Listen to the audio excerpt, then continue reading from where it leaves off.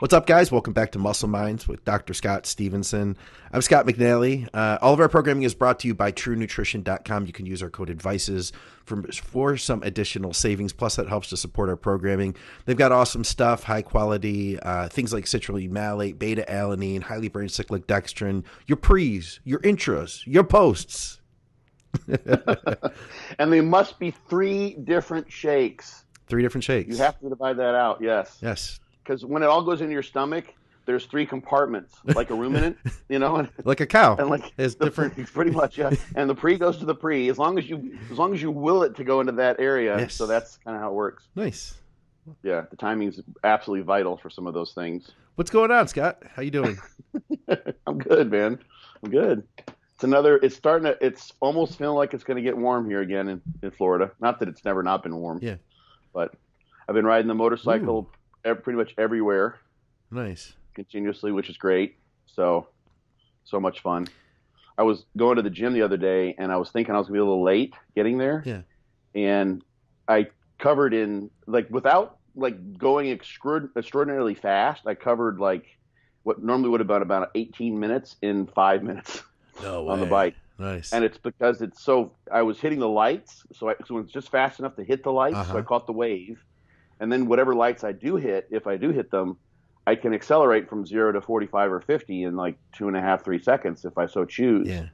So I immediately leap forward like two blocks in front of anyone behind me. Okay. Yeah. Um, and it's because these electrical motorcycles, and just like you know Tesla's electric vehicles, they're all so fast. There's it's just crazy. The power is instantaneous. There's no gearing or anything like that to deal with. That's cool. Hey, so, I wanted to give yeah. a shout out to uh, one of our listeners, Christopher Wu. He is uh-huh. a doctor of uh, general medicine in Malaysia.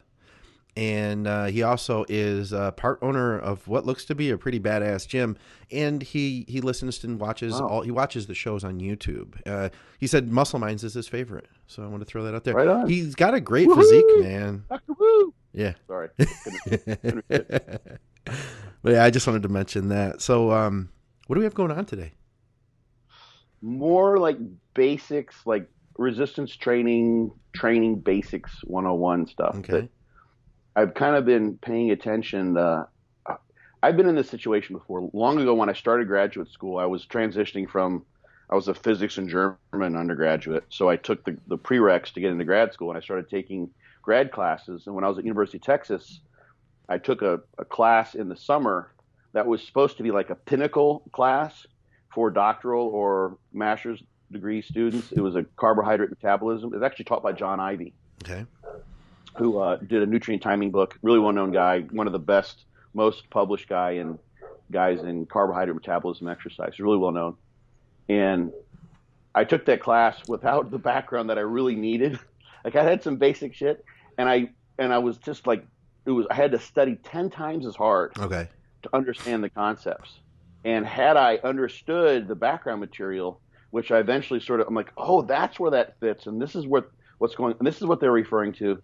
It all like everything kind of came crashing together. So I, I figured it might make sense for people who are like trying to follow the is volume the driver of hypertrophy type of thing. And I heard a it was actually on Fouad's podcast. They were talking about what intensity is. Mm-hmm. There's like a the title of the the YouTube video is what is intensity. Mm-hmm. So I figured I'd just kind of cover that stuff then the intensity thing is like it's been a, an issue like a semantics problem as long as I can remember. Hmm. Like like what is intensity? Yeah. What does that mean? And people are li- literally talking about two different things when they use that word. Okay. So we can cover that, but okay. I wanted to cover like train just like basic training principles. All right, I like this. That are, that are, yeah, it's like real kind of simple stuff, like nothing over the top, but then connect it with what you see in different programs like my training system or John Meadows or DC training, um, and why those things make sense and why you would want to employ those to produce bigger muscles. All right. Get more jacked. Cool. I'm all for this, man. I think it's a great idea. I think it'll be good for people who've been doing it for a while, you know, like myself, maybe get some refreshers, possibly learn something new. Uh, and for people that are new, obviously, could be of benefit. Because I will say the one critique I think we get of Muscle Mind sometimes is Scott loses me. You know, you you know, but it, it's good. I have an encyclopedia. It's good to follow him with. I don't know what the fuck talking about. It's good though. It's good to challenge people. Um, so where, where where do we start yeah. with this? I'm excited. I can I can send you the list of the training principles if you want. and You can post it up so people can see. That'd be great. Um, let me type this last one out so you have it all. All right. I'll just text it to you. you Misspelled that.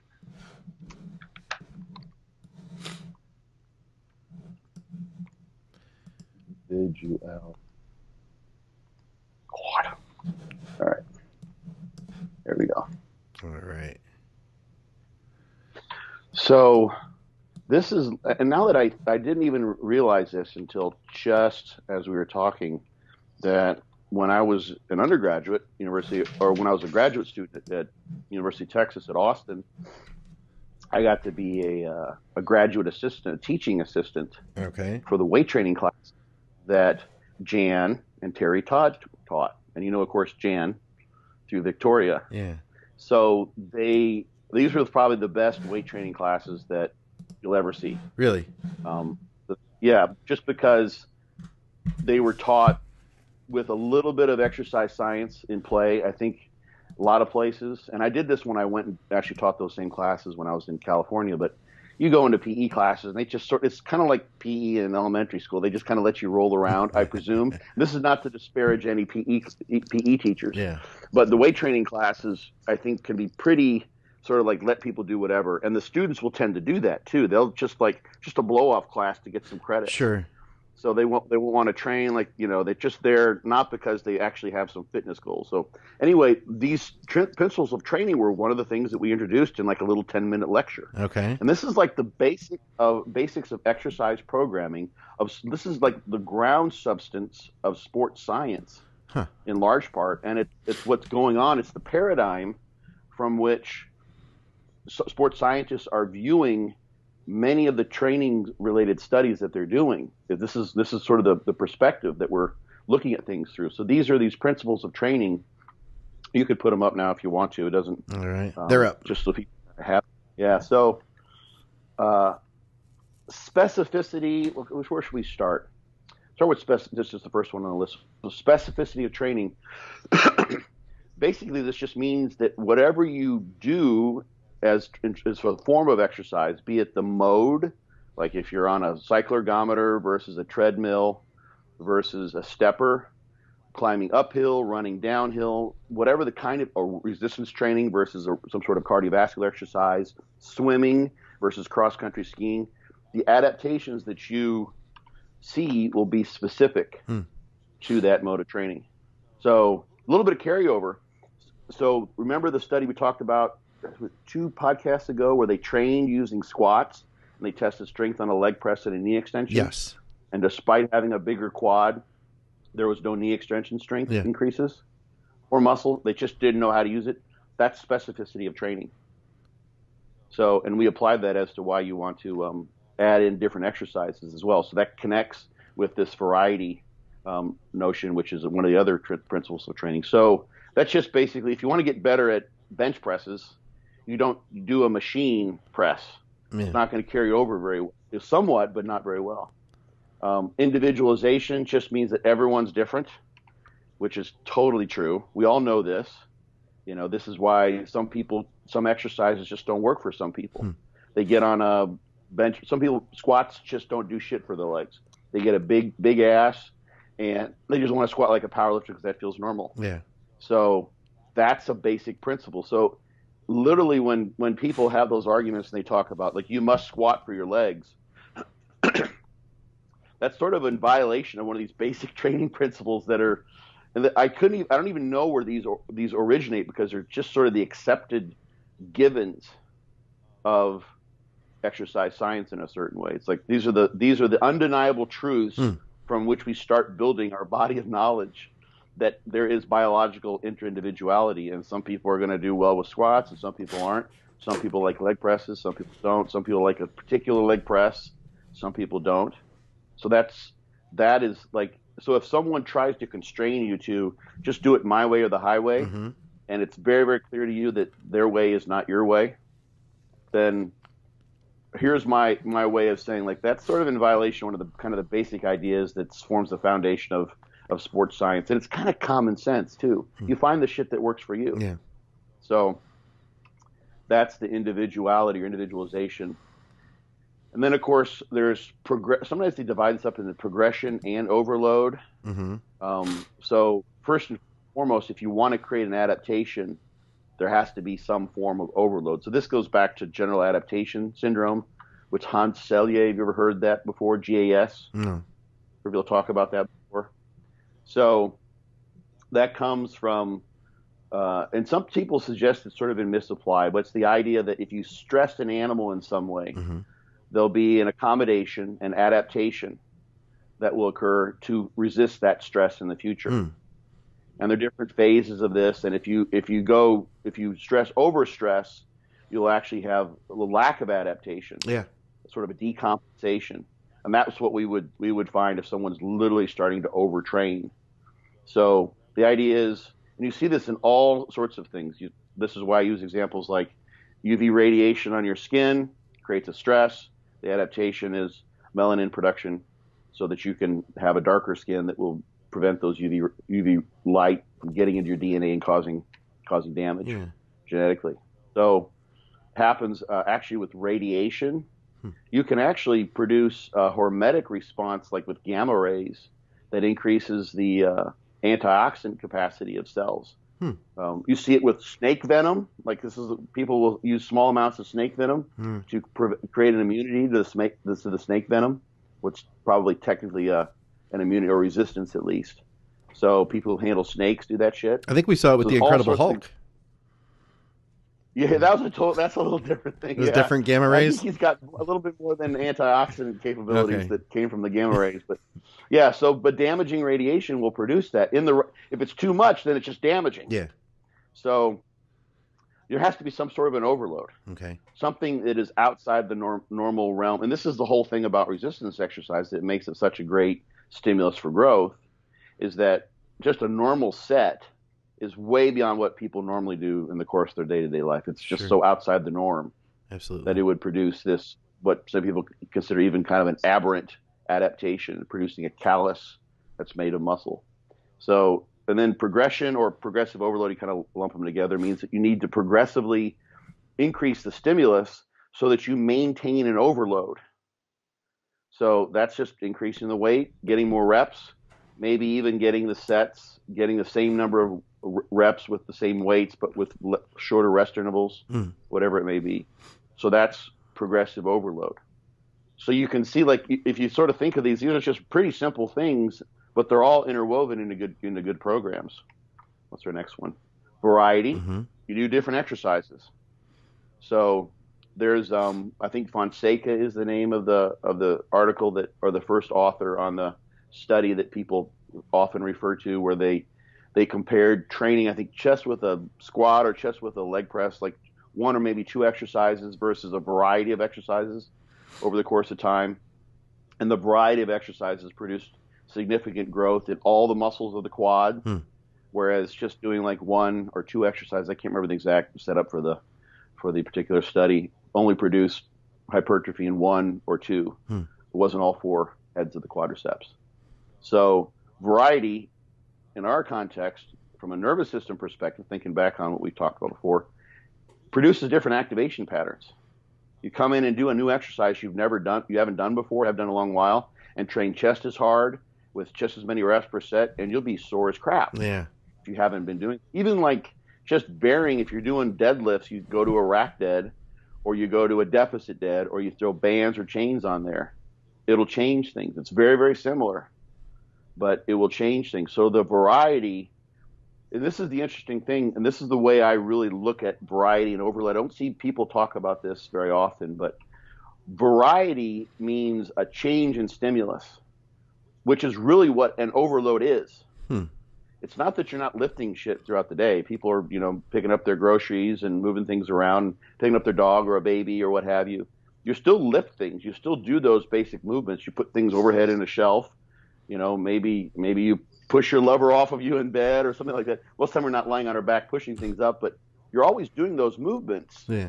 But you're just not. But the variety, in the case of adding doing those things in a resist in the gym with resistance exercise, is an overload. Yeah. So the nature of overload is because it is it varies. It's different than what your day to day stress is. Okay. So when people say the criticism, I don't get it so much, maybe because I've refuted it so many times, but every once in a while someone would like chime in on my my Instagram and say, "Why you do all these weird exercises?" Yeah. And some of it's because I I I I feel those better. They're more. It's easier to have a mind muscle connection with those. I'm, as Dante says, getting funky with it. Mm-hmm. But it's a different activation pattern. That makes for a novel stimulus. Overload is a novel stimulus.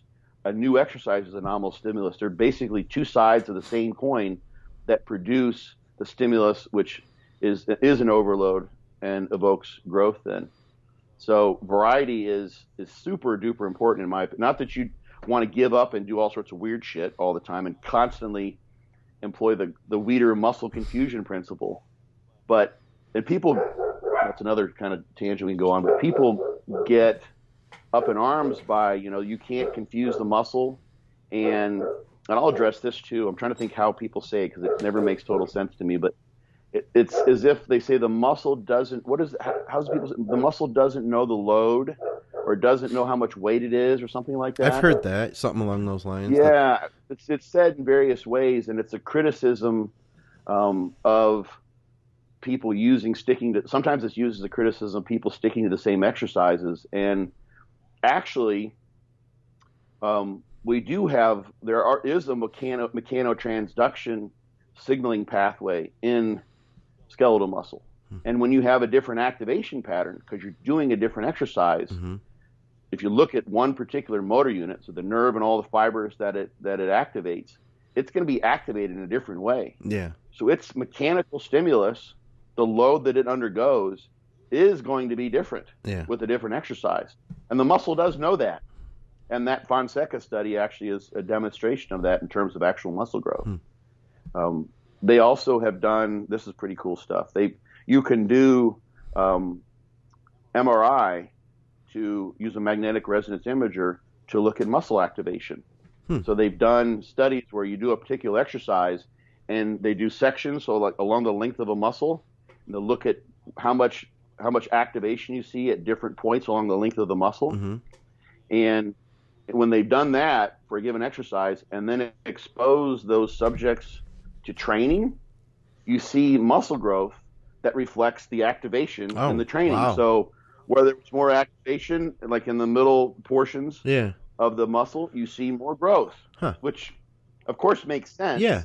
But literally, it's been demonstrated. That's cool that you could see so, that. Yeah, it's like it's like that. With the proofs in the pudding. They've actually demonstrated it's a proof of proof of principle type of demonstration that where you activate the muscle is where you're going to get the growth. Hmm. And you see that when you sometimes you can you can change your foot position or roll on the on the medial or the lateral side of your calf to activate the medial or the lateral heads of the gastroc more so. And you see muscle growth in the areas that are activated Hmm. using those different exercise variations. So the Charles Glass phenomenon of like filling in the holes and using all these funky exercises to create activation patterns um, that that are new and novel, and especially with the back musculature, which is so complex, mm-hmm. there, there's there's truth to that. Hmm. You can sense it, you can feel it. Like holy shit, that hit my back in a way it, I've never felt it before. Yeah. But it, there's absolutely truth. There's there's de- absolute truth to that. So at least as, as absolute as we can have truth Yeah. in uh you know in, in this world. So um, the variety is super duper important. I think as long as you're still applying those um, other principles, especially the progressive overload one. So just randomly, and like you were saying, I think you said a, a woman made a, a, comment on your video that just go in the gym and be intense, mm-hmm. just train really hard. If you're sort of mindless, then and you're and you're not paying attention to what's going on in terms of progressively overloading, so getting better with more reps and or more weight, mm-hmm. then you'd be denying that progressive overload principle, and you'll you'll still get a stimulus, but it may not be an overload stimulus. Okay. Yeah. Yeah. So, and for most people, just training hard, you get the newbie gains, mm-hmm. any stimulus is an overload stimulus. You don't have to be. You'll just get stronger because you're adapting so rapidly. Sure. So, so variety can be overplayed, but uh, it's super important, I think, especially for people trying to eke out extra amounts of hypertrophy that normally wouldn't come. I would say that's otherwise. probably the biggest gap in my plan right now is variety. Since I. I train from home, I'm limiting the number of exercises I do each week or each workout. Um, my equipment is going to be more limited than if I were at, you know, the big corporate gym that has the entire hammer strength line plus the entire free right. motion line and some Cybex machines over to the side. So I'd, I'd say that's probably my biggest limiting factor. But it sounds like you're telling me that you can create variation almost even within the same exercise. Absolutely. That's, I mean, that's what bands and chains yeah. both do. Yeah. And they do it differentially. Um, what happens, the bands tend to be create a little more muscle soreness. They tend to be a little more taxing on the muscle. Do they? I didn't realize that. Than chains do. Really? Yeah, John Meadows has, has, made this known. He says this. He, will you'll see it. I think uh, he maybe even notes it in, when he writes his programs. But I've seen him talk about it, and I think we cover this in his his book. I think I wrote about this in his book, The Brutality of Mountain Dog Training, because I have a section on bands and chains. But so imagine, let, let's say you're just doing a press, or it could be a squat, whatever, and um, you lift up, and as you lift up, um, the chains will add load the higher you go. Mm-hmm because more of the chain is being lifted off the ground. So and so that will happen. You'll you'll progressively overload toward the end towards the end of the not progressively overload is probably the wrong term, but you'll increasingly cr- increase the load yeah. as you go to the top of the movement. And then when you come down, there's going to be a free fall effect. So the chains the chains aren't going to immediately be hitting mm. the hmm. ground. If you go really fast, they would just be totally free falling. Yeah. Just like you would with any free weight. Whereas the bands don't have that lag time. Mm, okay, I gotcha. Yeah, and the thing that will differ with bands and chains is this is this is going to be all over the place. So depending on the band where you get the band and the the strength of the band, so and the range of motion. So if you have a range of motion, let's say it's you know a, a chest press, so it's 18 inches, and you're using a really thick band, let's say. Mm-hmm you may see hardly any change in the force from start to finish in that band if it's under a lot of tension at the beginning. Hmm. So good bands have pretty equal tension. Once you load them up enough where they're actually creating significant amount of increased load to the exercise, uh, except for maybe like a hack squat where you've got a really long range of motion from top all the way deep into the hole. A good band doesn't change the load too much. I can see it that. Some, yeah or it's stretched out. So there's going to be a length tension relationship for the band. And that's going to differ depending on how thick the band is hmm. and where you got the band, whose band it is. Yeah. So, and how long the band is, of course, too. So if you put a little, really little band on there mm-hmm. and you only got, you know, a total of five feet of material on with both ends of the band, that's different than if you have a band that's 10 feet. Yeah. Because the relative change in length over the course of your absolute range of motion – is going to be less for a longer band. Mm. So you literally would have if you took like two bands, let's say they're identical. Like I use the orange bands from Elite FTS. Yeah. They're just they're kind of good universal bands. They come in the Mountain Dog training pack. That's I've got that too. Yeah. Yeah, that's great. So if you took let's say you're on a hack squat and you can you could take two of those orange bands and just load them just once.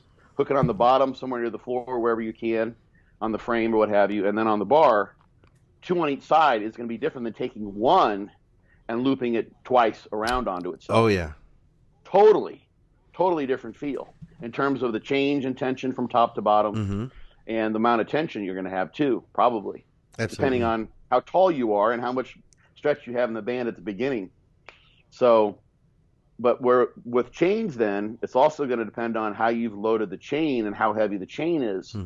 So at the top, you might have the chain completely um, airborne, so it's not resting on the ground at all. You might have almost all of it on the floor. Yeah. So you can and you can change that, for instance, by hanging a kettlebell off the end of the chain. Mm. So you got a 20 pound chain, you've got a 20 pound kettlebell. Yeah. and you got a lot of load at the top, and then when that kettlebell or, or whatever, you could have a couple of them. You, when that hits the ground, you immediately have, and you could you could figure out where to put that mm. so that it is just beyond your sticking point mm. on the way up. Okay, yeah. So you, you drive out of the hole and you sort of position that in the right place, of course, along the range of motion, so that it provides extra overload where you're the strongest. Yeah, yeah. To change the groove. Yeah, you could do that. So you can, yeah, you can. So for, back to your gym and what you're wanting to do, you could, you can. You know, look kind of silly. You know, like, like what's this guy trying to do?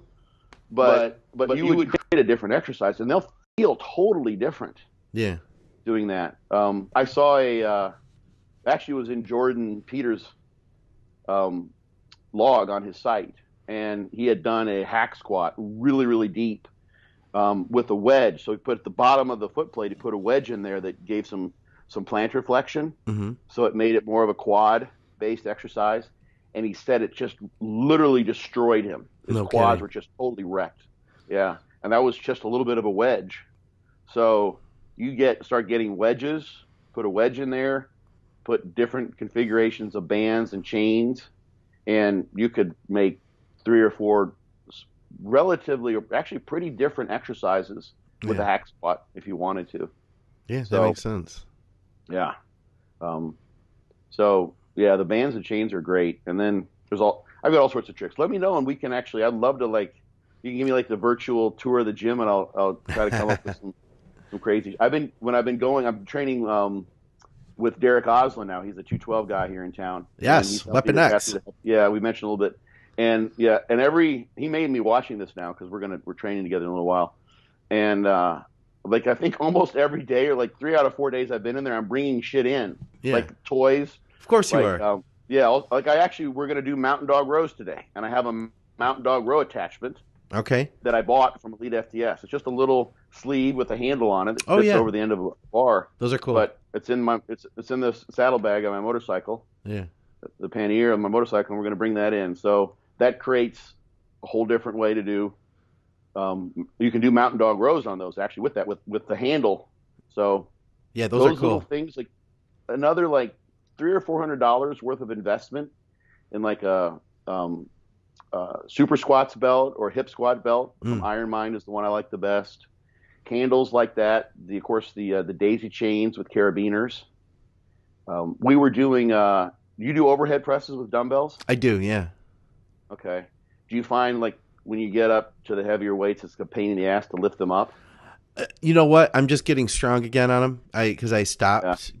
I stopped right. pushing that exercise uh, after I tore my shoulder and uh, now I'm, I'm it used to be my strongest exercise and now yeah. i'm very weak with it like i'll kick up the 75s and i'll actually fail you know like i get to the point where like it's not just usually if i kicked up the 75s i go until it feels good and then i stop you know and i go heavier right. now i'll actually fail on the 75 so i'm not yeah. that strong on shoulders at the moment but they're they're, they're coming yeah. back we did a thing the reason i so say is like as you get Yeah, the kick up could be the pain in the ass. Once you get like when you get to hundreds, that's yes. a pain in the ass.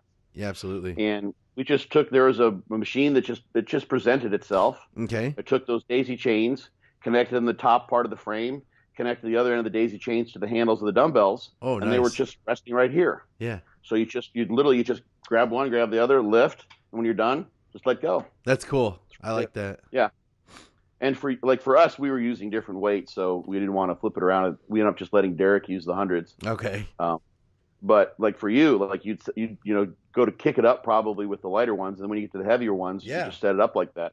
Because that I I have this. I mean that's the that's the part that always and I knock on wood that always kind of concerns me is that I'm gonna like hurt myself with the kick up because mm, okay. it can be so fucking awkward. You know, like getting one up and then like trying to stay on the bench, almost yeah. falling on my ass a couple times doing that. Yeah. So there's so, a ton of little things you can do. You can, and I carry all these things in my bag, literally. They're in my, um, it's in my book. One of my frequently asked questions is, "What's in your gym bag?" Yes. I have all this shit in there that allows me to like modify things, change the loading curve, add it, you know, make exercise safer, easier to do for a muscle round, what have you. That, I've seen the gym you know, bag. Probably, yeah, I've yeah, seen the gym bag. I've seen you pull a couple things out of there bag of tricks, a little MacGyver bag.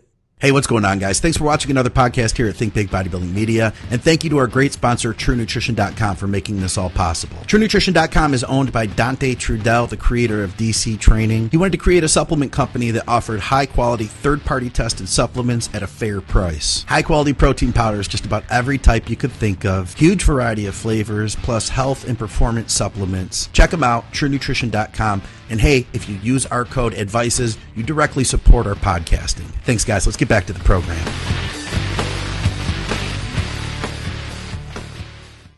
And I actually have duct tape in my uh, in my motorcycle, so I'm good to go, man. Yeah, you can do anything with that. I have now. Yeah. So, all right, let's see what else we got here. Uh, reversibility. That just means that you can detrain. Basically, is if hmm. you stop the training, the adaptations will reverse. But interestingly enough, they don't. This is kind of, and this is a whole other topic, um, is that you don't.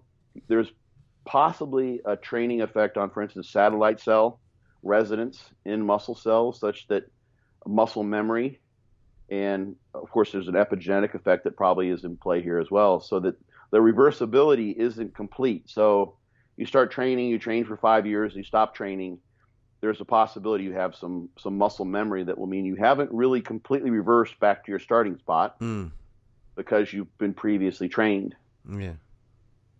So um, that's just basically. I mean, if you don't use it, you lose it. But people hold on to muscle mass better um, than they think. I think many times. Mm-hmm. Kind of depends on what you're doing, and you can you can maintain muscle mass on a much reduced training volume as long as you as long as you keep the effort level high. Hmm. Okay. Training you're training hard. So there's that. Let's see what else. Oh, and periodization. So that's sometimes people toss that in. So that's what I do with with progressive blasts and intensive cruises. That's what people get like all all up in arms with. Sometimes like macro and mesocycles and all this crazy shit. And people get lost in trying to periodize their training hmm. when they're kind of, I think, in many cases, getting the cart before the horse. Hmm. Because if you set yourself up on some sort of a linear periodization scheme where you have a planned um, macro cycle that's going to last eight weeks, come hell or high water, and you're six week in, six weeks into it, and you're a broken down wreck, and you don't pay attention and auto regulate and drop things back or move towards just go to the end part of your macro cycle, which would be some sort of a deload, mm-hmm. then you're just not training smart. You're not training in tune with what your body's presenting to you. So periodization is super important. That's what there's tons of ways to do that, but it is important hmm. um, because hell, you can just just from taking time off and coming back, you can get a lot better than what you once were, hmm. especially if you haven't done that before. And I've talked about that with with people that have done fortitude training. They have a the intense cruise. It's the first time they've ever done a deload, probably. Yeah. They come back afterwards and they're just like, "Holy shit, what happened here?" Yeah. You know, they've never done that. So, so those are the basic, like those are like the training principles upon all all this shit is built. Like really, that's that's the, those are the ingredients that people are throwing into the the training program pie that they have. Mm-hmm. Um, I just wanted to like kind of throw that out as uh, like we can even refer to this. Yeah. People will ask questions that are kind of answered, you know, in just understanding hmm. these basics. So the other um, the other thing, and I kind of alluded to it, is that uh, the notion of intensity is a semantic issue hmm. in the uh, in the in the in the bro versus the bro science world or the the bros versus the scientists. Okay. As people say intensity and like high intensity training. Right. And that for the average person and for most people who haven't had any exercise science, they just think that means training really hard. Mm-hmm. You have a mental intensity, and that's one way to look at it. In the exercise science world, that term is reserved specifically in the in the context of resistance exercise for the the load that you're using almost always as a percentage of your one rep max. Okay. So if you're using 80% of your one rep max, that's more intense than 70% of your one rep max. I see. So if you see a study where they did like high reps and it'll say low inten- if they even put in the in the title low intensity versus high intensity resistance exercise mm-hmm. creates equal hypertrophic gains as long as sets are taken to momentary muscular failure. Hmm. All that means is they tested a low load versus a high load. Hmm. And they used 50% or 30% or some smaller percentage of the one rep max. Hmm. So in and this is what John uses in his programs and this is the term that you know people talk about in the context of effective reps is effort level, or what your average person, layperson will think of as intensity, can be quantified subjectively as RPE, a rating of perceived exertion, or a reps in reserve. How many reps did you leave in the tank? Yeah. So how hard was the set? And that's it. Hmm. So when someone says that was really intense, if you were like in like you know data from Star Trek and automaton, you say, well, no, it wasn't actually. That was you know that Widowmaker was not very intense because you used 65% of your one rep max. Hmm, okay. But it was a hell of a fucking set because the reps in reserve was nothing and your RPE was a max of 10 on a 0 to 10 scale. Yeah. So effort level was off the chain. Yeah. But the intensity, if you're quantifying that from a programmatic standpoint, from an exercise scientist standpoint. What Olympic weightlifter, weightlifting coach might might say was not very high because it was a low percentage of your max of the max load huh. you lift for that particular exercise. I didn't know that. It's yeah, and, and people don't because no one people don't bring it up, and I, and I've seen that like I remember when I was going through school and I'm, I used to like cringe all the time when I see people get confused with the intensity thing, and it's a weird thing people don't delineate those. It's so simple I mean, it's not like rocket science to to see how the definitions differ. Mm-hmm. You know, it's not like really a complicated thing, but it just doesn't get clarified. Hmm.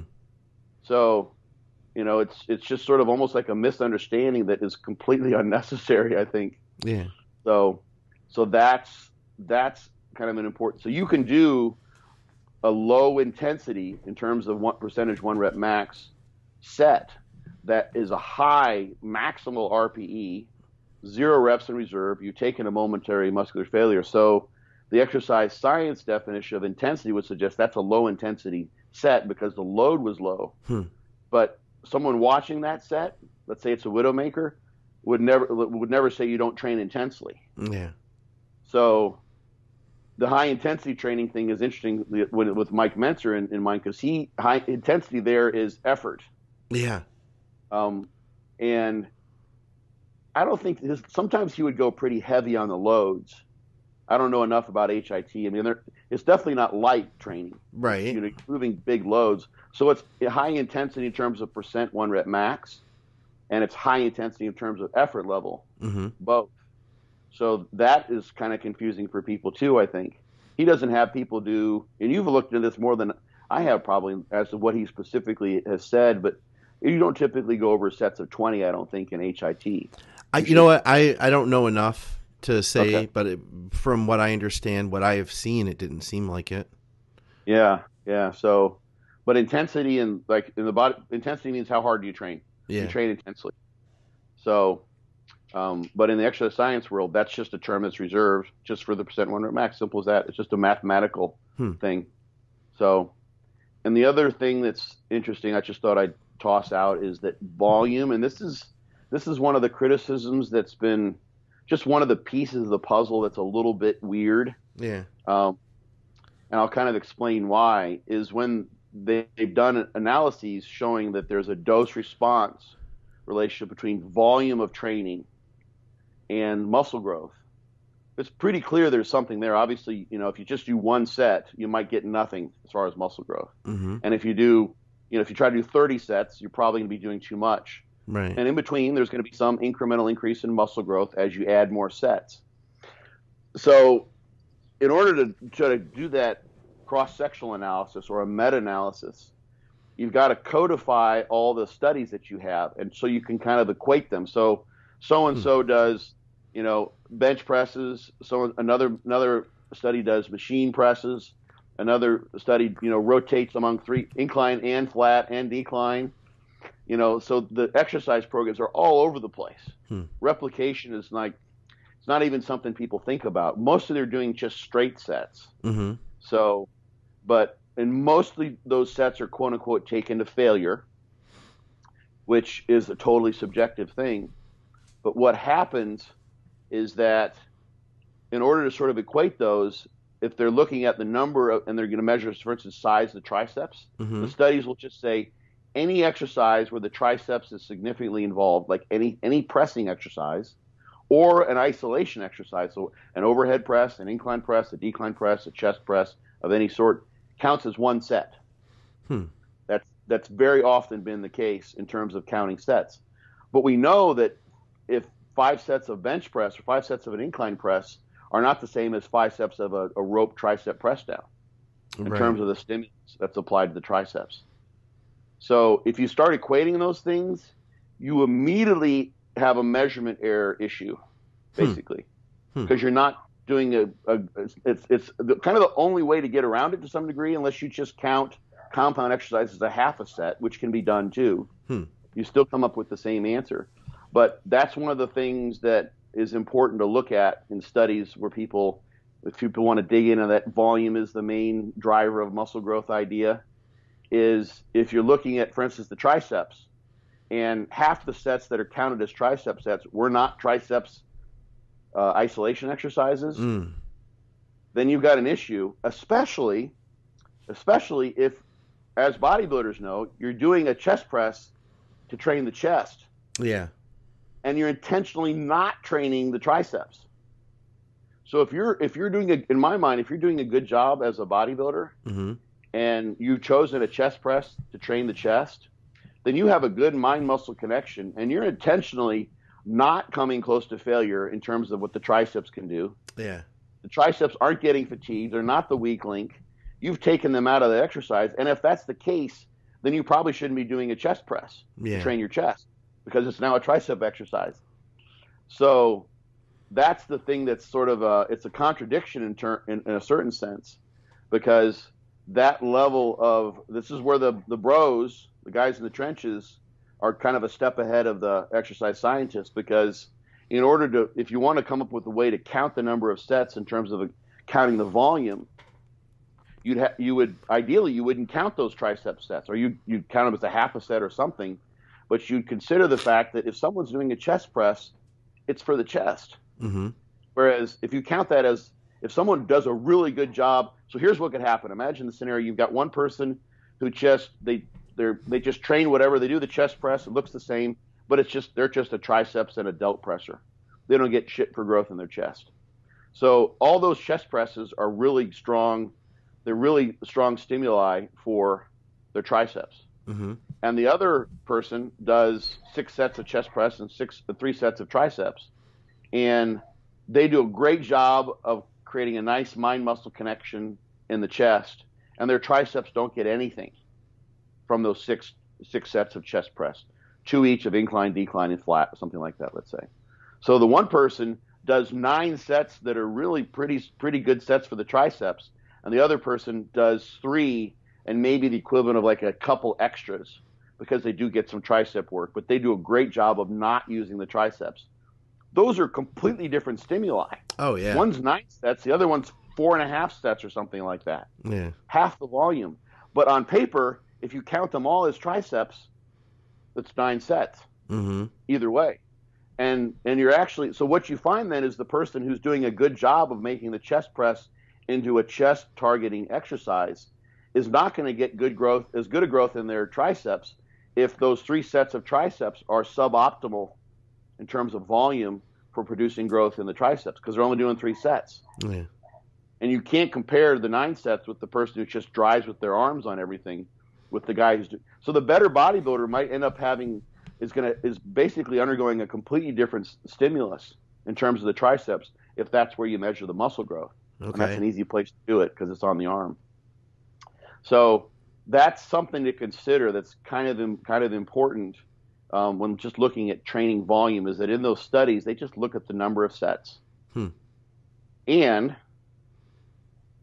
how many? How often? Let me just ask you this: How often do you do cluster sets or drop sets or rest or forced reps, those sorts of things in your training? Um, I'd say semi frequently semi frequently. like every other wor- workout, maybe. Yeah, yeah, yeah, yeah. I'd say so.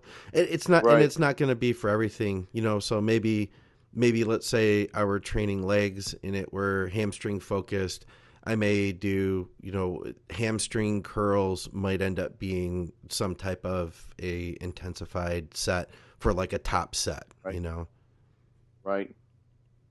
So that's the other thing that that's that isn't doesn't get included that people very very often do in these in the scientific studies is they typically just do straight sets for the sake of simplicity. Yeah. Because yeah. how the heck do you when you do a rest pause set and you get 12 4 and 3 reps so you get 19 reps. Mm-hmm. How the hell do you equate that to someone who did 10 reps and 9 reps in two straight sets? Yeah. Yeah, you can't. I mean, you got it's it's a it's a totally different animal. It's you're, so you're only you're only comparing straight sets in most of these studies, whereas most people are doing some sort of cluster set or drop sets, and mm. there's various studies that have investigated those. So the mind muscle connection, in terms of how people are ex- performing the exercises, compound versus isolation, mm-hmm.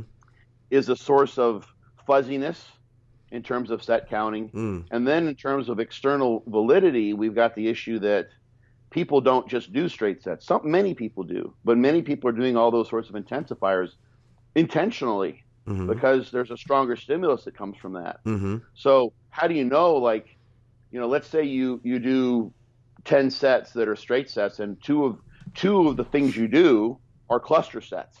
Okay. And so those 10 sets kind of get you to you're building up the accumulated stimulus of a workout and what really is that makes that particular workout an overload was the fact that you went beyond failure in some way, shape, or form doing those cluster sets or those drop sets.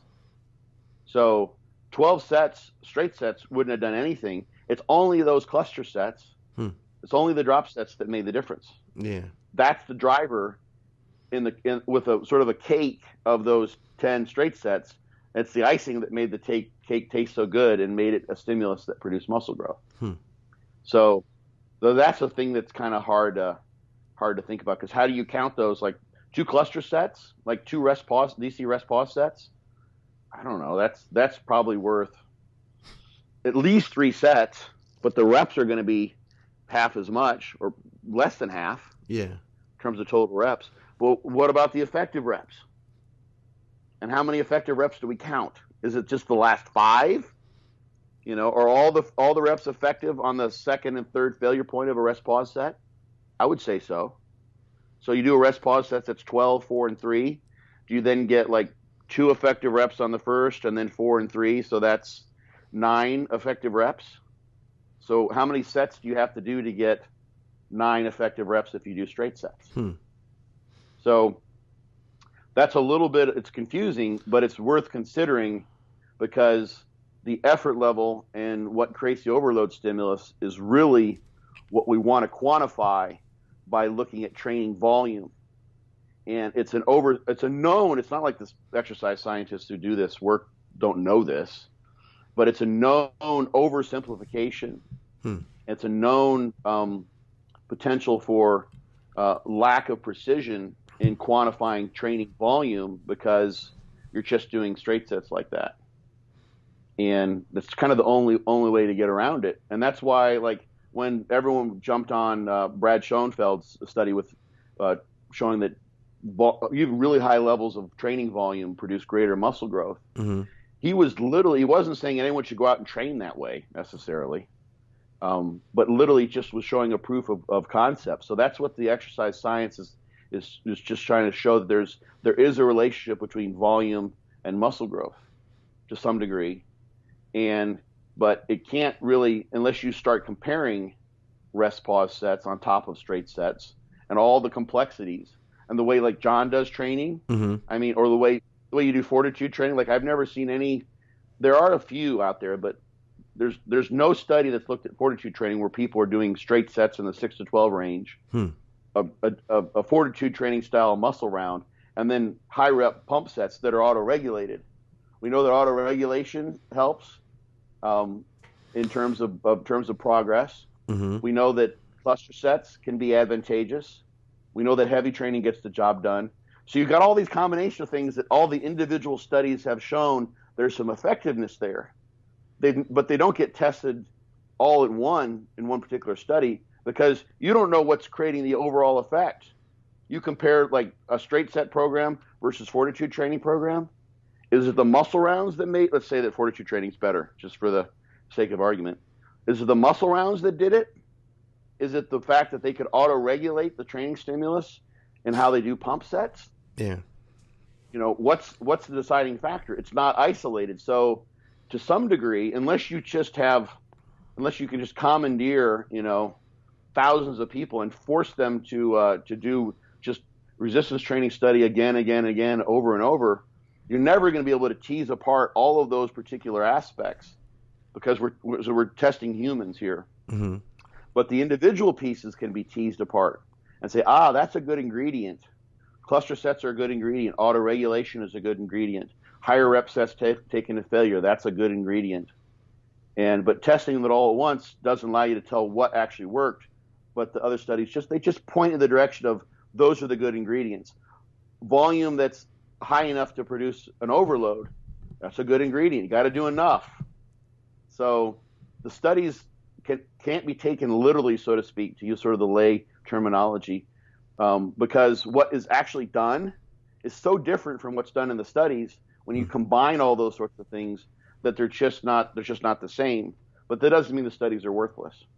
Yeah. So anyway, that's the, the training volume thing, which is a little bit of a it's been a point of contention in the the sciencey nerdy bodybuilding world about like what does that really mean, and the intensity thing is just worth we're saying because you hadn't even heard that. Yeah, no, I and hadn't. I see I see I see arguments all the time, and people don't know what they're. They'll literally say, "No, this is what intensity is," and it's like, "No, this is what it is," and they just argue without trying to clarify. Well, there's two different ways it's, it's used. There's two meanings to the word. Yeah, you know? yeah, yeah. So we did have a question too. That, we had a question yes, from Dallas. Yeah. Um, oh, the one from uh, earlier in the week. Yes, last week. He said, yeah. uh, he and I know you answered him over at the the board at the group, I should say, uh, for Think Big and, and Advices Radio. Um, but I wanted to ask you here because I thought this was a. Do you mind if we uh, dove into that one for a minute? Yeah. All right, cool. Because I thought, yeah, people would get a kick out of it here. He says, um, I'll start by saying I've been listening to the podcast for several months now and love the information that's being put out. I stumbled upon Advices Radio after reading Scott Stevenson's Be Your Own Bodybuilding book, bodybuilding coach book. Uh, however, I've never asked a question. Uh, let's see. He's got one for next week. Let's, okay, here's a question. My question is for Scott McNally and Scott Stevenson to discuss potentially using Widowmakers as a tool to train your CNS.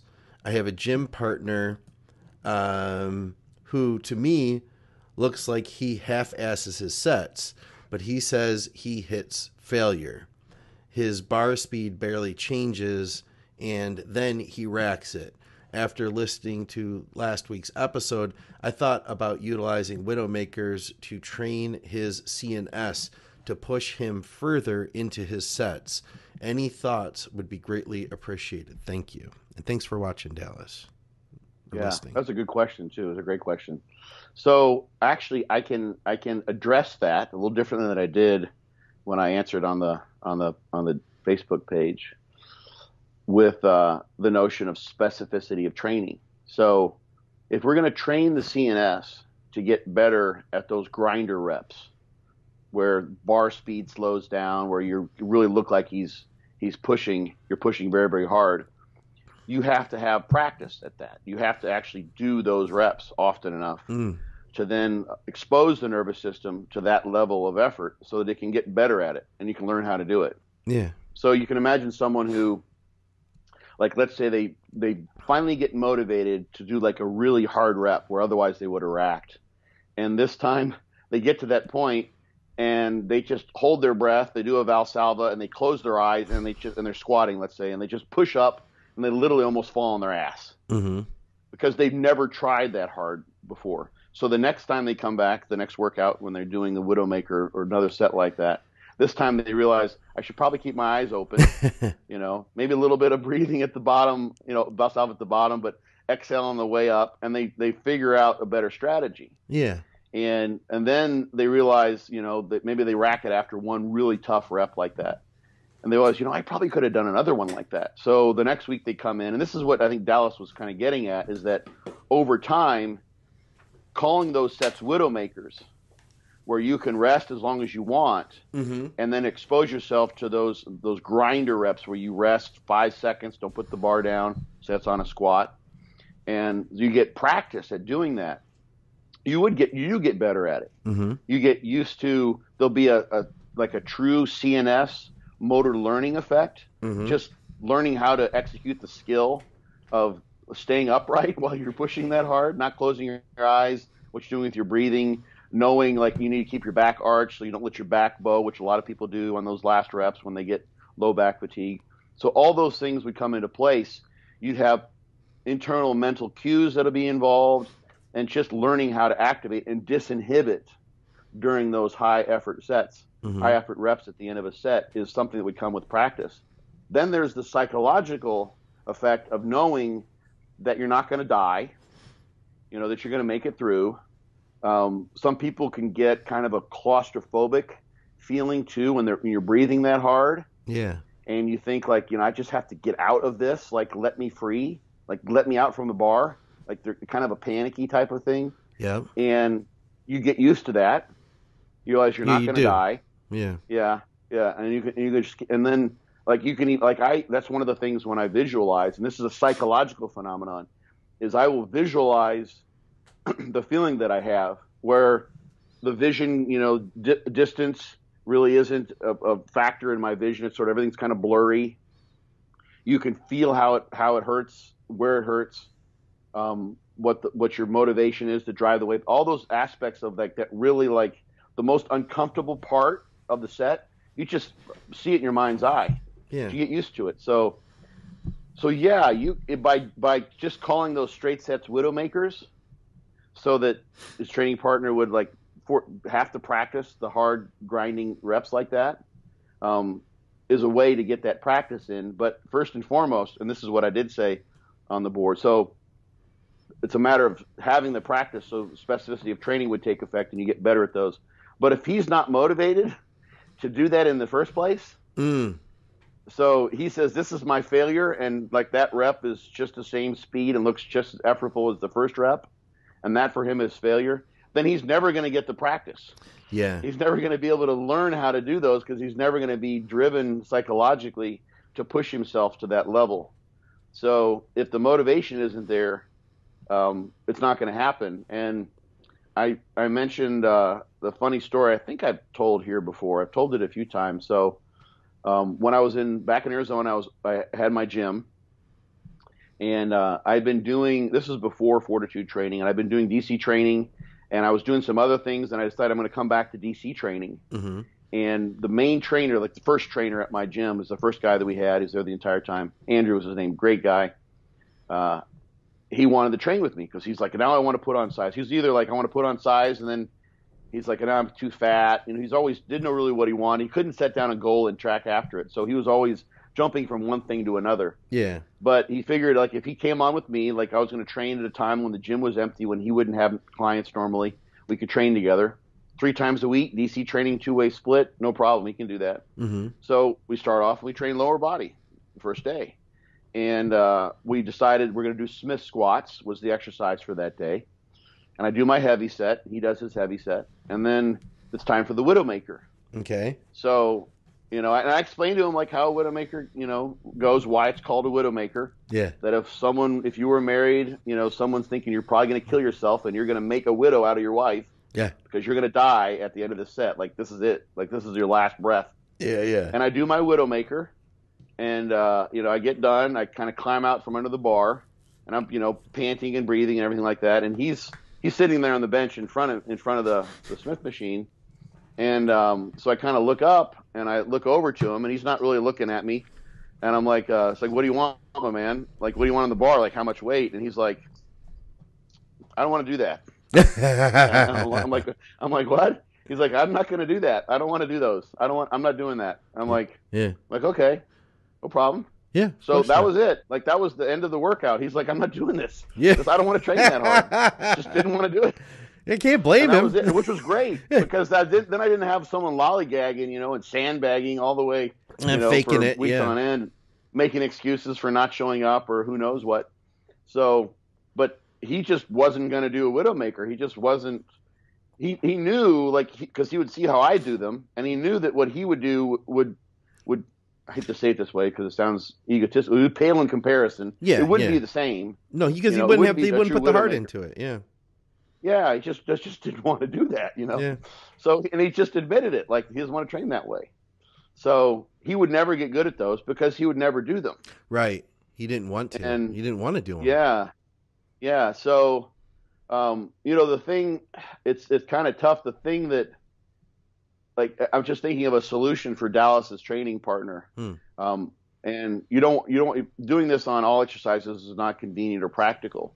But one thing you can do if you want to get a little extra stimulus, and train personal trainers do this a good bit, and it's a way to sort of trick people into getting extra reps and even getting used to pushing past a failure point is to basically get, do forced reps, Okay. but add those reps in before they really reach failure. Oh, really? So, yeah, so you're stronger on an eccentric than you are on a concentric. yeah. So you can lower more weight than you can lift. And I mean, you could literally, if you if someone completely pulled the weight up, you can go to failure, and most people can do two or three reps, Yeah. depending on the exercise, and, um, with of controlled negatives only, with no no no effort whatsoever. Literally, the bar just comes up, and then you do it just a controlled negative. So, let's say someone's doing a weight that could do like 12 times, and the 13th rep they'd hit failure Mm-hmm. What a personal trainers will do is you get to like 10 or 11 and they start helping Mm. so what that means is then they get 15 reps let's say and you assisted on the concentric so you made it a little bit easier they Mhm. never really reach true because failure is almost always a concentric failure Yeah. unless someone just, every once in a while like if, maybe they rest at the top you know and then they then they try to get another rep and it's just like way too much and they just kind of give out they have a of a nervous system collapse Yeah. but it's almost always failure like at the bottom because they can't concentrically move the weight or they're somewhere mid rep so you avoid the concentric failure but you give a little bit of assistance so they get you know one or two reps shy of failure concentrically but you've added then three or four reps that are eccentric Mm. the lowering which they can do because you're stronger that way and the energetic um, the, the metabolic stress or the, the metabolic uh, demand of eccentrics is much less than concentrics Okay. it doesn't take much at all the weight you can do that repeatedly again and again and again Yeah. Yeah. so be one way to get a little and what that would do then for his training partner if he's trying to get him to learn to kind of stay in that zone Mm-hmm. is you get 10 and you give a little of assistance. It's not a failure rep yet, but you give a little bit of assistance and then you just give incrementally more and more assistance. So he spent so he has five reps that are short of true failure Hmm. that are within his training effort level, like what he's willing to do. Yeah. So instead of having one of those where he's like at his max effort that he's willing to give, he has five Yeah. because you're assisting him. Plus, you're adding those eccentrics, which is going to create more stimulus. It's going to create more more muscle uh, soreness as well. But it also will, because of the repeat, repeated bout effect, prep him for training hard in the future, so he won't get really sore. Yeah. So that thing you can do is just give a little help Yeah. I um, like that too. along the way. Yeah. So that's a that's a way that that's that's one one like real practical reason why having a training partner or a personal trainer there can kind of supplant your lack of motivation in a Mm. way. yeah. If you really don't like the failure reps or they're not safe to do, you know, you could add on basically forced reps, um, but not really like you ever you ever had someone like you asked like I want to do a force rep. I haven't done this for a long time, but it's happened to me many times. So you ask for a force rep, just give me a little help, Mm-hmm. and they just want to fucking kill you. So literally, you're like here, and it's like we don't want to make it a 10 second rep. Just keep the bar moving at a normal speed, but help me out. Yeah. And they just like they're just like like okay, now the bar's going back down. You need to help me more. Right. You have people you before? Oh yeah. Of course. What are you doing? Trying to kill me. So you don't want that in this situation because that's yeah. gonna that actually would create a lack of that. That doesn't create a lack. That creates a lack of, of, of trust yeah. with the person. It's like, are they really watching out for me? Yeah. Anymore, I don't ever do. I don't really do any kind of spotting. Like I don't ask for help. I just don't. You know, it's not either. And I want people to stay away. I see their hands coming toward it. You know, and I, I would rather just do it myself. And because I, I usually train myself anyway. You know what I mean? And I can take it there as far as I need to. And if you know, I don't know right? I had a, a guy, this is a long time ago, and I was doing an overhead press, barbell overhead press in a overhead press bench.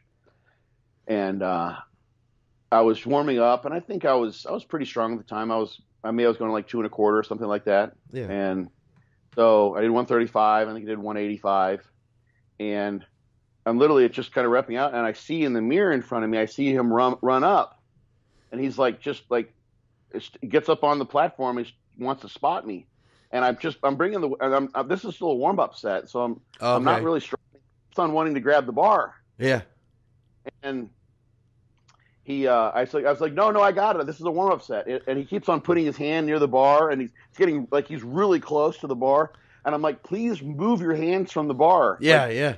I, basically, I think I said, "Would you go away? like, literally, get out of here, bam!" and then I went to two and a quarter, and the guy he couldn't get out of his head. It, like so, it was a nice intention. He ran over, and he when he went to jump up on the platform, he tripped and he fell into the bar and knocked it into my head. Oh shit! Almost fucked me up bad. Yeah. Oh my god. And I'm like, that's why I didn't want you to help me. So please let me do this by myself if you would. But it was like, yeah, so you don't know when someone comes out of nowhere what what they're going to do or where they're at or if they're give you too much help or yeah they don't know what to do. So yeah, you got that happen on a dumbbell press incline dumbbell press. Yeah. Someone tripped running up on me when I was going to failure, and I had I don't know the 120 something over 100 pounds, big big dumbbell, my hand, and they hit my elbow. The dumbbell went like that and fell onto my head. Oh my god!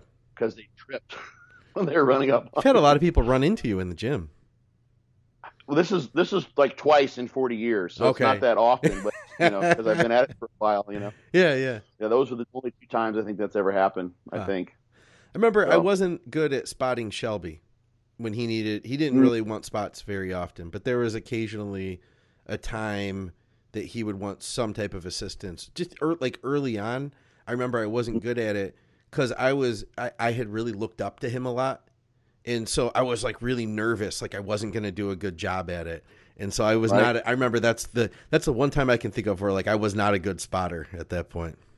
Yeah, I think the way like kind of a mindset to have as a spotter is you want to make sure the person's safe, but you actually want to make it harder.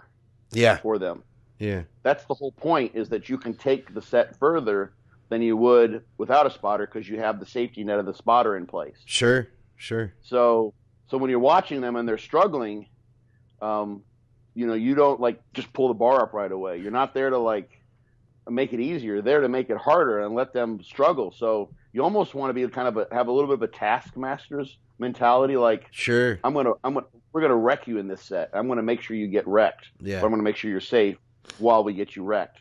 Yeah, and then that that works out most of the time. So there was a a time. This was um this was a long while ago, but there was a went down to Nogales, Mexico. Oh, to wow. a powerlifting. Okay. There's some people that it was a friend of mine had some friends who were competing in this meet, and they had a guest lifter there, and I forget the guy's name. Um, he at the time was in the running for the world's. He was one of the best bench pressers in the world. He he bench pressed over 700 pounds. He was going for a meet, going for like 720, I think, mm-hmm. in an upcoming meet. And so we went to this gym, and he was there, and there's 20 powerlifters in this meet, and everyone's so intimidated by him because mm-hmm. he's just fucking gigantic guy, and he's really well known.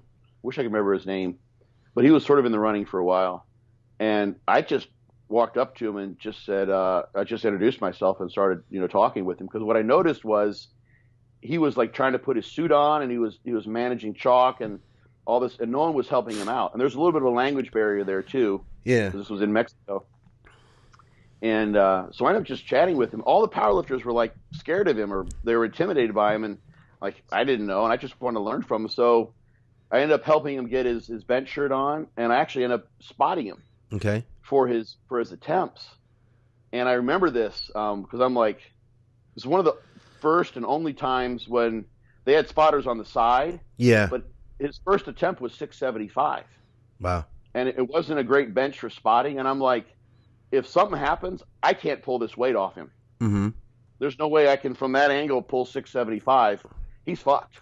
Yeah. I don't know what I'm. No, I'm a. I'm going to have to be as you know uh, quick on the draw as I possibly can. Yeah. And I remember it was a hot day. There's no air conditioning, and it's summertime in Arizona, actually in Mexico, so even further south. Yeah. And I was sweating, you know, and trying not to sweat on him while he was getting ready. right, right. And uh, he said, but he said, watch me close.